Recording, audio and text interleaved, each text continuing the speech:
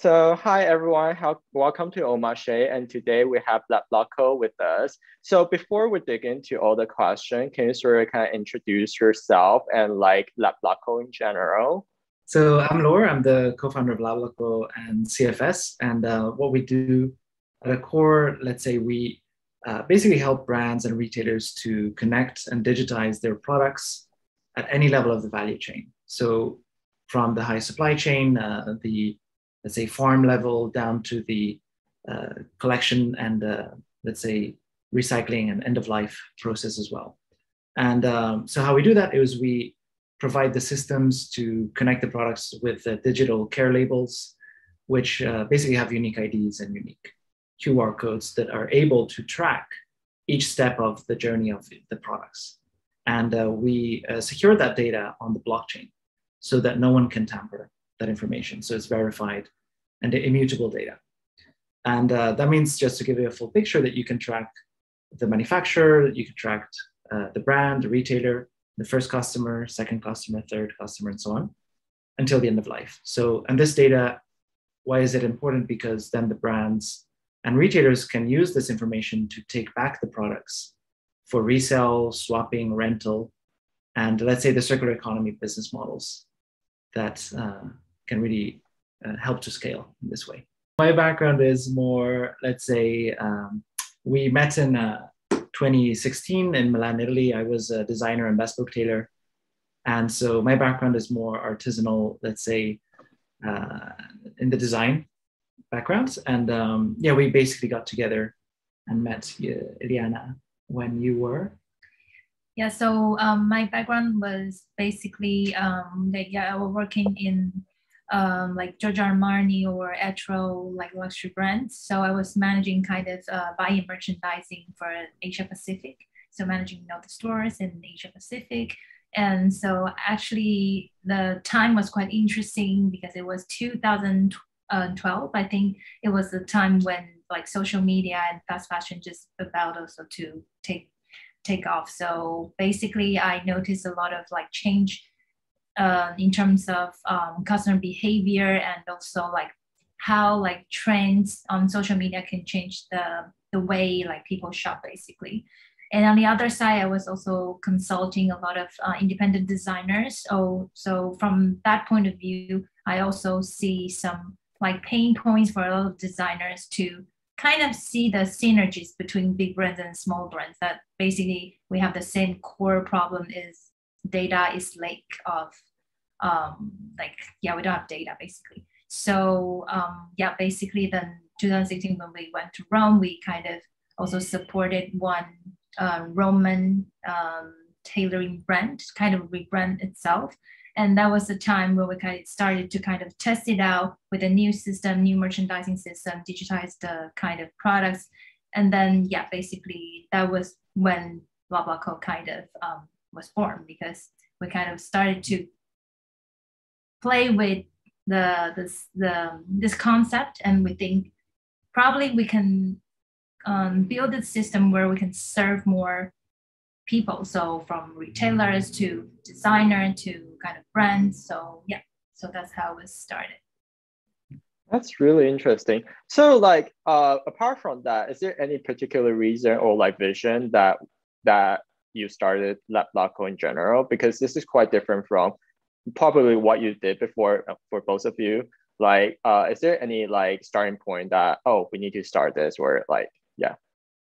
Yeah so basically actually um it was quite interesting because i we actually he came from a super manual kind of point of view like tailoring so no data at all. Everything was manual cutting like writing. So but he was kind of a little bit like digital himself. And from my side i was for example, working in Giorgio Armani Etro, so I noticed that it's the same thing. So because basic, uh, basically luxury fashion was so manual, everything, and sometimes we need to cut the fabric and write down everything on the paper. So a lot of data was lost around. So the system were, was also so fragmented. Um, for example, in Giorgio Armani, we have tons of systems, like a lot of systems fragmentally. So from shipping, we have one system um, buying for Asia one system and probably America was another system. And so CRM probably another. PR another. So kind of we we noticed that all this data are not connect together. So this that was the first point. And then when we started to build Lablaco and we did a lot of research. So also thanks to um, Fashion Revolution, we um, basically saw the true cost, the um, uh, the documentary. And we discovered wow. So fashion basically is the second so-called or considered the second polluted industry in the world. So we think um, probably there's some link together because sustainability, if you see other industry, how we came up. So from like music industry before we used to buy a lot of CDs, so like tons of CD in the house. But then now we just stream on the um, iPhone. We don't need buy to buy any like physical products anymore. Or um, like media use, we used to buy a lot of paper, etc. Now we just go on Facebook or website, we just saw a lot of news. So we saw other industries started to kind of digitizing themselves and then sustainability like comes as a consequence of all this transformation so why not fashion so we see um, fashion around we um, kind of think oh there are actually no this sort of um, platform that can support brands or, or retail or, or product creators to um, digitize their product. Basically, they're all e-commerce.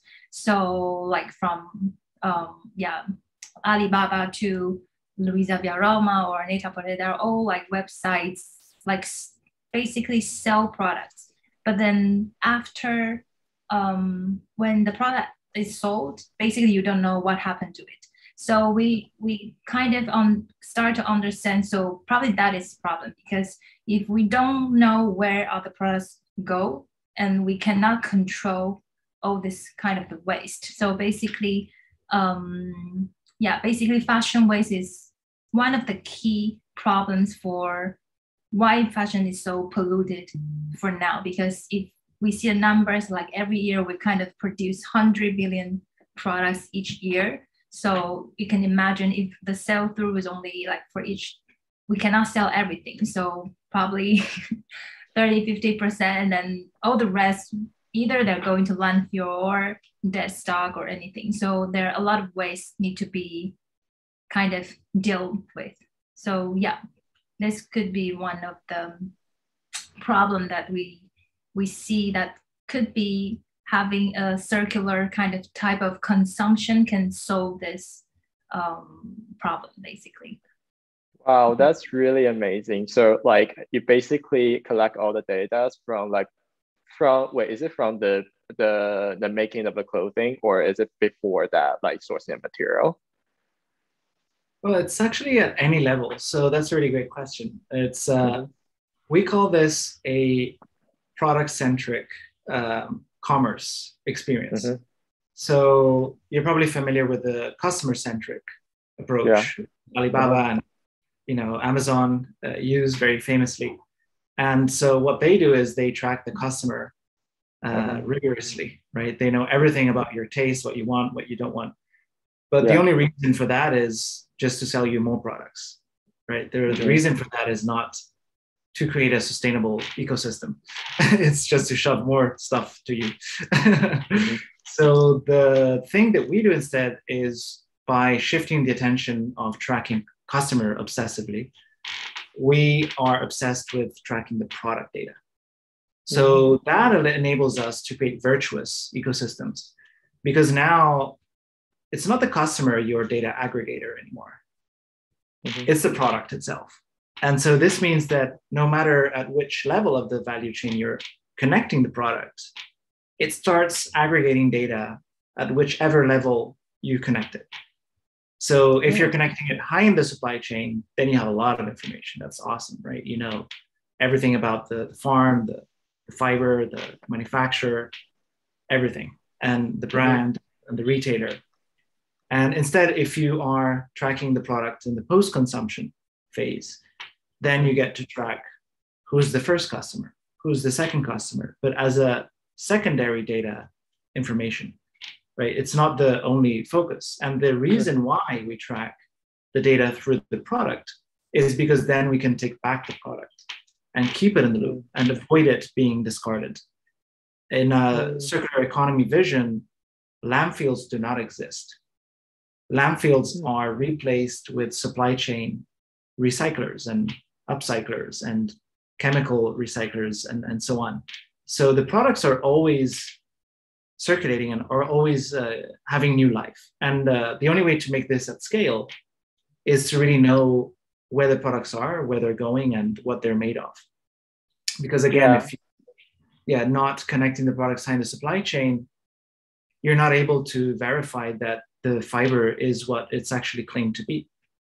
And so if it's not pure as it's claimed to be, then that also has problems down the line in the recycling factories, right? If it says it's 100% yeah. cotton and there's synthetic fiber mixed in secretly, it breaks the machines. mm-hmm. So that's a problem, right? So uh, the long run really is that, as uh, Eliana was saying before, by tracking these products, now these 100 uh, billion products with a B that are manufactured every year, at the moment, they're all disconnected basically. Uh, imagine that. So imagine instead of having a billion products that are connected with verified provenance, it will drastically you know, transform everything, we believe. And uh, not only that, but the amount of data that you gather about the products is not only physical data, but it's also digital uh, let's say, data in a certain sense, because then you can create digital twins of the products. Mm-hmm. So you can save time and money on sampling. You can save time and money for content creation. You know, usually you have to ship products for sampling around the world. You have to produce yeah. the samples.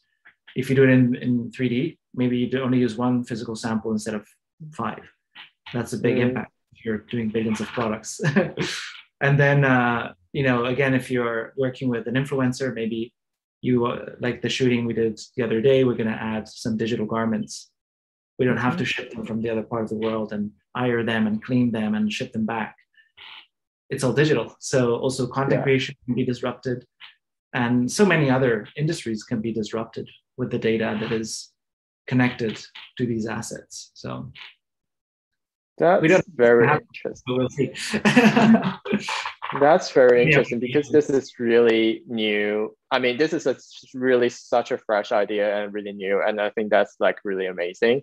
And like using like uh putting like blockchain into like physical clothing, I think that is something that uh me personally I never heard of it, but like when you talk about it, I just think wow, that's like really amazing that you think about this idea. But I mean, the next question is I want to what I want to ask is because you say like it started from the very beginning for like materials and stuff and then like i just wonder who is the actual customers for this? Or like in some way of like uh in other words is who can check like all the data? Is like everyone can check it when they find the new clothes or i mean how do we check it? Is it uh, behind the tag or yeah yeah, really good question. So for the customer, it's simple. Uh, we basically create this. Uh, our customer platform is called Spin, S P I N, mm-hmm. and at the moment it's uh, simply a O2O scan and pay system. So you can just you know scan the product in the store, pay for it, and that's basically when the customer interacts with the data. So we do a, a big job of packaging all this information for uh, a light user experience. But in the backend, instead, we have a platform called L Plus. So that's our enterprise software, which we offer to marketplaces, retailers, brands. So similar to a Shopify, let's say, but it's made for this purpose. And it enables whoever uses it not only to have the digital information, but also to connect the product with these uh, physical uh, care yeah. labels, which are connected to the internet. So that's uh, that's it. And then of course you know blockchain is nothing if you don't have trusted information that is inputted in the blockchain at the origin right? So it's like uh, you know mp3 you know if, if you're using napster and it's uh, pirates it's not a good thing right? Mm-hmm. instead if you're using mp3 on spotify and you know that the artists are verified and they're earning money mm. it's different it's a different thing but you're using the same tool which is mp3 right? Mm. and uh, similar to Netflix, you know, it's one thing to have an MP4 pirate video downloaded from the dark web, and one thing is to have an MP4 running on a trusted platform that verifies the content creators.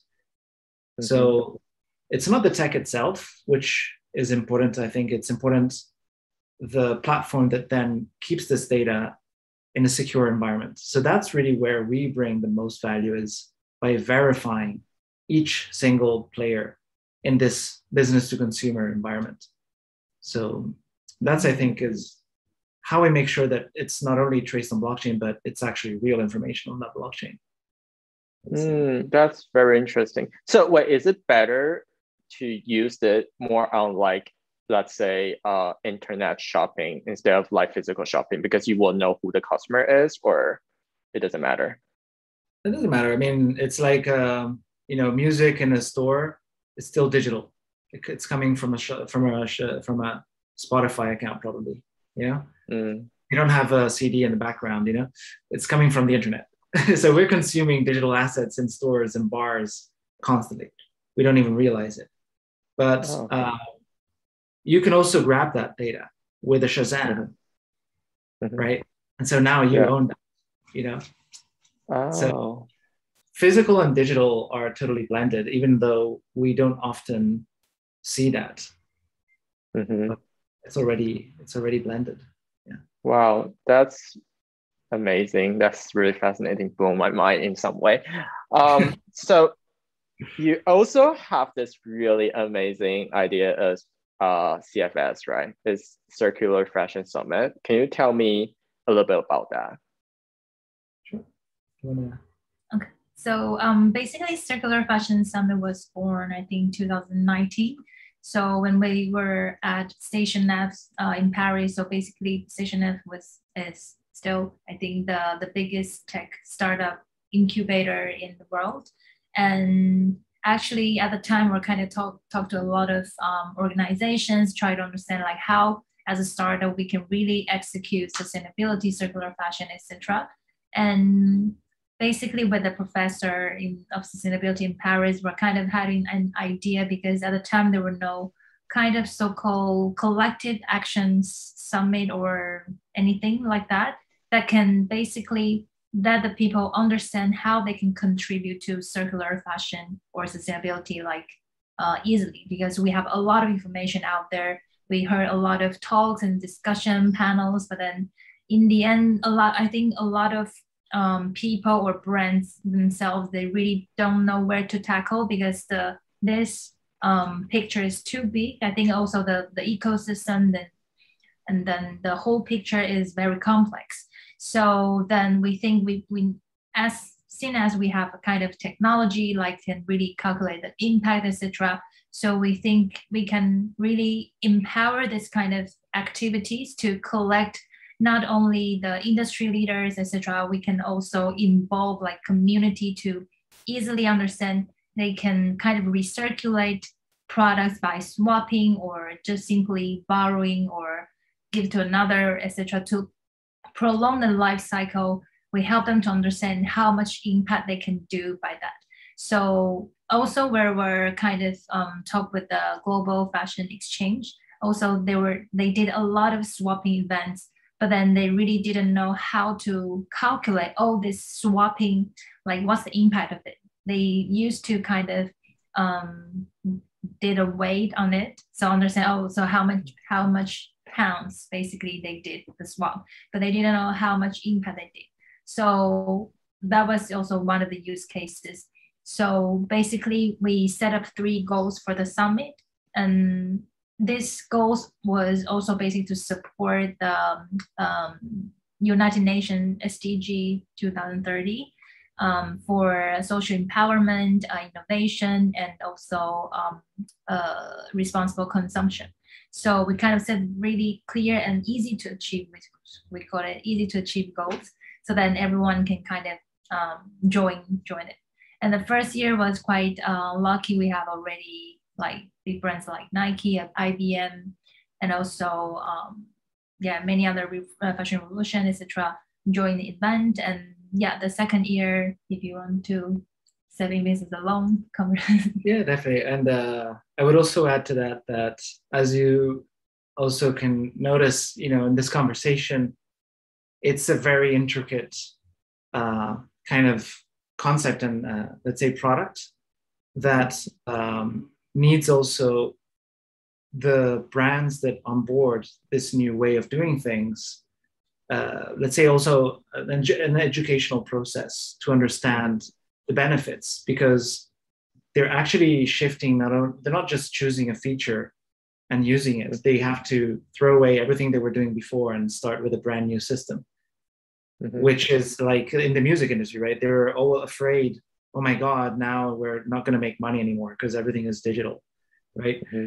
and so i think that this fear before COVID, you could feel it. The brands were not so open to start this new approach of doing things. But then since COVID hit, uh, everything changed. So I think that the brands are now ready to jump in this new adventure, let's say, of digitization and IoT and all this crazy uh, metaverse stuff. Uh, but not only that, uh, we've also done it ourselves. So, uh, for example, we managed uh, to keep going with the summit, which had a really great start physically in Paris. And we basically managed to keep it going by bringing the entire event and the summit to virtual reality for the first time. So that was the first ever VR summit in the industry. So, uh, you know, why not? We had nothing to lose. We wanted to keep the, keep the momentum going. And, you know, it could have gone really badly, and but it, it could have gone really well. And fortunately, went really well. but yeah, it was awesome just because no one's ever tried that technology uh, when we did it. Uh, 99% of our audience uh, has never tried it. So we basically brought the luxury fashion industry in VR for the first ever conference in the Paris Fashion Week agenda. And we also digitized the uh, Grand Palais, which is where Chanel does all the shows every year. So that was another historic first to create the NFT, let's say, of the Grand Palais, uh, which was actually usable in virtual reality. And um, then yeah many first thing first time things happened that year in 2020 so we also managed to gather the five ceos of the major fashion weeks to join forces for the first time ever on a single panel talk. So there was the ceo from uh, the shanghai fashion week uh, london paris milan uh, new york and not only to talk but then also to uh, join forces to activate goals together so we for example, in 2020, launched the first ever, again, swap event in the London Fashion Week agenda. So that was another thing that never happened because uh, usually the fashion weeks are designed as B2B events to push more products in the system, right? Yeah. And this was going against the original business model of slowing down, opening the doors to the public and have people swap clothing for free. And, uh, you know, Global Fashion Exchange uh, was the organizer of that using our technology. And there was also Patrick McDowell, an independent designer that used the, our technology also to launch the first collection through swap through swaps, basically. So that was also really interesting to see. Uh, and it was all supported by, by Swarovski. So also kind of demystifying the fact of swapping as something, let's say, traditionally not so luxury, uh, mm-hmm. bring it in a context which was totally new. So bring it in a luxury London Fashion Week event uh, supported by Swarovski was something that was very exciting to see. And then this has been kind of snowballing in many other fashion weeks around the world, helping them to become community platforms to engage with people and create impact. So they, we basically also made a, a report on how much water and CO2 was estimated to be saved at the event and so on. And so that's an example of what happens at the summit. So the speakers are not just passive speakers talking about issues, but then we proactively make things happen together, reaching the goals. And uh, the fact that we could do it in VR, I think that was the only way really to gather people uh, apart from a Zoom like this. Uh, the only other way to gather people really is through virtual reality if you still want to keep that kind of in-person experience and and walk around but yeah there's a lot we can talk about the vr side but um, but yeah we're definitely going to keep doing it in vr because we saved uh, yeah, so I'm just going to finish this part here that we saved uh, 10,000 kilograms of CO2 with only 300 attendees. Uh, avoiding, Kilogram. Yeah, yeah. 10 tons basically. So avoiding people to uh, fly to Paris just by the flights alone. And that's only 300 attendees. You know, it's not a mass market, let's say, event. It really is a boutique event where we try to gather the few hundred people that can, uh, at the end of the day, impact the many millions in the physical world through the activations of the goals. And uh, just to see the impact from that alone and the excitement of the people that uh, came to the event, like Margaret Zhang, uh, she was one of the speakers, and uh, she said it really felt even more natural than a Zoom call. Or the global director of uh, design at North Face said it was such an incredible experience and a great weekend and so on. And they keep, you know, talking about it in the company still today after a year. I just uh, heard him recently. And so, yeah, this kind of excitement uh, mixed together with the fact that we don't need to fly people all around the world just to speak about things. And, um, you know, also the fact that we don't have to build the production of an event, which is also very impactful. You know, you have to buy uh, yeah. plastic stuff and all that. So altogether, just made uh, us kind of reach that aha moment that uh, we definitely want to keep that in the VR, keep the thought leadership virtual, and keep the actions real and physical uh, in the real world. So that's that is really interesting. Um, there's two follow-up questions, maybe a little bit more than two, but like the first one is about the swap. Like it's physical, right? Yes, absolutely. And uh, we uh, provide the digital labels that go on the garments. Yeah. So, because like every clothing, probably when they bought it or like it, it, it have different value. How do they like swap like from A to B with like the same value or yeah? Yeah, well, that's really between the users, right? Because if uh, uh, I have, uh, you know, an old pair of Jordans that you really were looking for, and I have, you know, um, let's say a Chanel bag, which I don't really care about because it's my grandma's. Mm-hmm. Uh, you know, what's the value? Right? It really is so personal. Mm-hmm. The aspect of value of things that we don't provide a system that is hardwired in that. We provide a system that enables customers to send requests between each other and figure it out between themselves. And then they basically oh. just accept it. And then it passes over, and the blockchain token passes from mine to yours. Uh-huh. So you it's almost like a dating site for like yeah, exactly. objects. I think that's really interesting. So the for the fashion summit, the Circular Fashion Summit, um, I think it's really interesting because you're using VR and at the same time you're doing like fashion shows with it too, right? Is um, um, well, it's possible, but we're not doing them yet. At the moment, we're okay. doing, uh, yeah, we just did the first conference, the first and only, last year, mm-hmm. and we haven't seen uh, much happen since uh, around in the industry. And yeah. so we showcase 10 impact designers. So ah. they have kind of um, so-called booth and they can show their video and talk to all the kind of um, guests basically who join the summits. That is really interesting. Especially when you talk about like um, digitalize everything, like doing like a virtual fashion or digital fashion. And in the future, probably we don't really need a physical one to actually showcase thing and obviously through the summit you're doing it's also digital thing. So like it's it's it's really amazing and it's sort of kind of like it's really uh, sustainable and environmental friendly in some way. So uh just wonder like who can join the event? Like do people really need to create their own avatars or something to join the event? Yeah you wanna expand that yeah, sure. So basically, so last year we did the event in um, Altspace VR from Microsoft. And so the uh, experience is that you need a VR headset, first of all.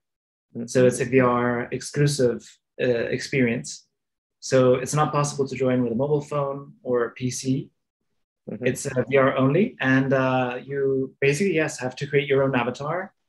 You have to dress your own avatar with digital clothing Mm-hmm. And then you go to the event. So you have your own vir- virtual apartment where you get dressed. and then you go to the event where you meet other people, you walk around, you shake hands, you wave to people far away. And if you go close to them, you, you hear them like we're talking now. And you, if you walk away from them, the audio starts decreasing as well. So it's a spatial audio visual experience. Wow. So, so yeah.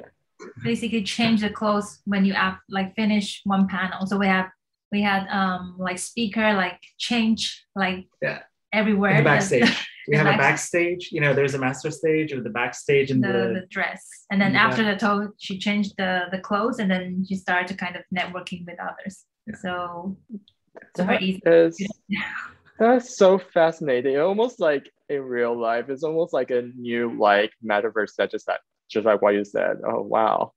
Um, yeah. Really, so we had some speakers like joining um, in Los because of the time difference. We have like guests in Los Angeles or California. Basically, it's super early for them, so they were like on the bed and put on the headset, and they just they don't need to wake up like mm, make makeup or anything. Do anything, yeah. Get, get into it, and yeah, that's it. so super easy for them.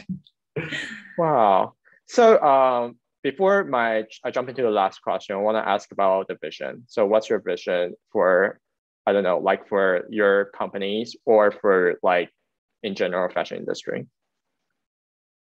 Well, I would say that the vision has never changed from the very, very.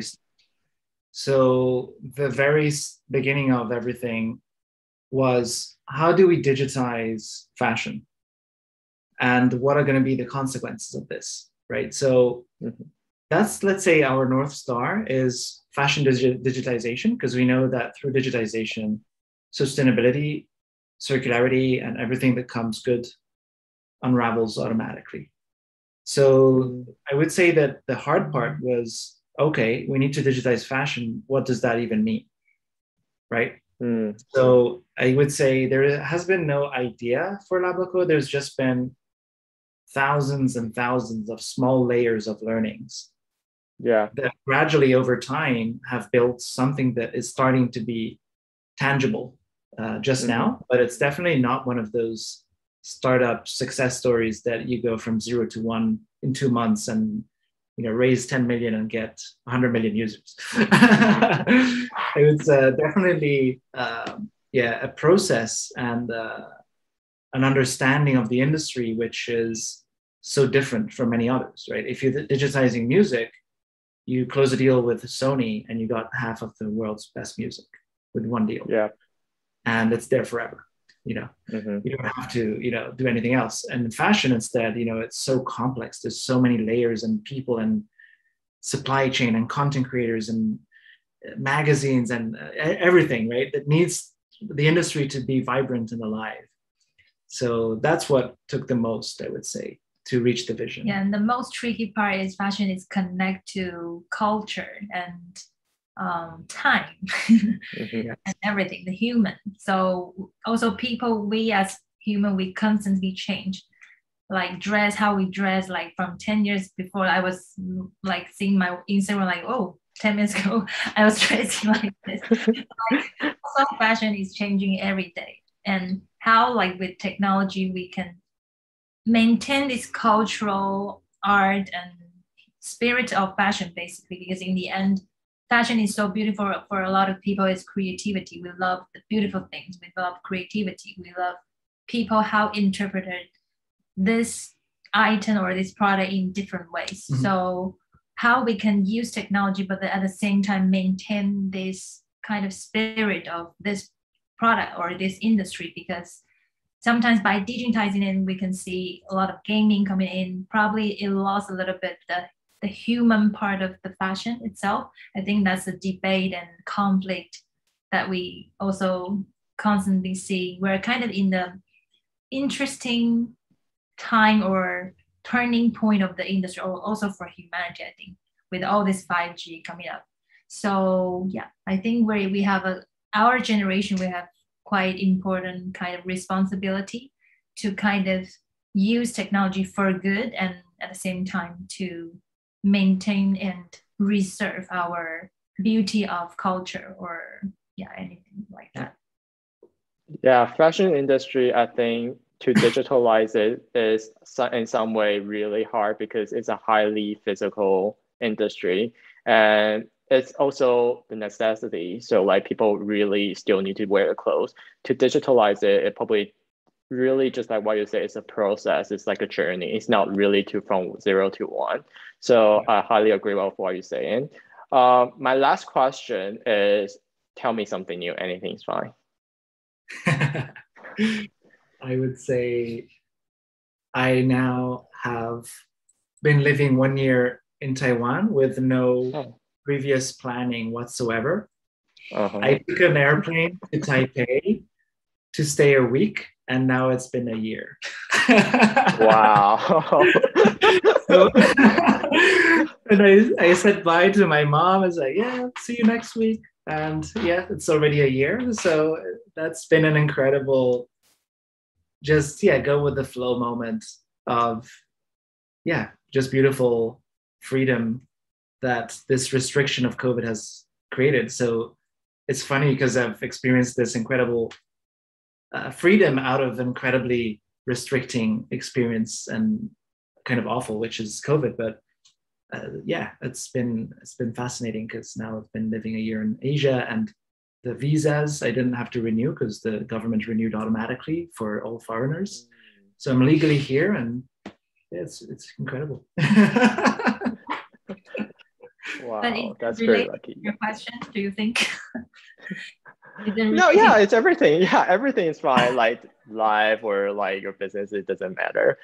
Well, that's uh yeah I, I believe like you actually stay it's probably the first time in a long time in taiwan for like a really long period right also you yeah um also me oh you've been in europe for a long time yeah i've been yeah it's the first time like my mom see me like oh you're still here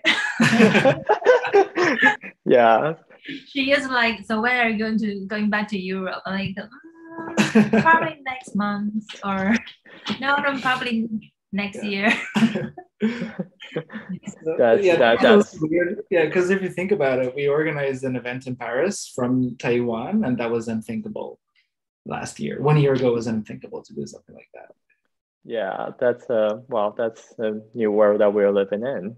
Yeah. Yeah the interesting thing also like within this year because i didn't tell because i thought i was going back to europe very soon so i didn't tell anyone like um except for a few like friends etc so a lot of people thought i was still in europe. They were like what? You're not in paris? I saw a lot of your events that happened in paris. I thought you're still in paris. So i'm totally ghosted yeah, no one knows that where I am. That's the best. well, thank you very much for the conversation today, and thank you. Thank you so much. Thank you so much. Yeah, it's great. Thank you.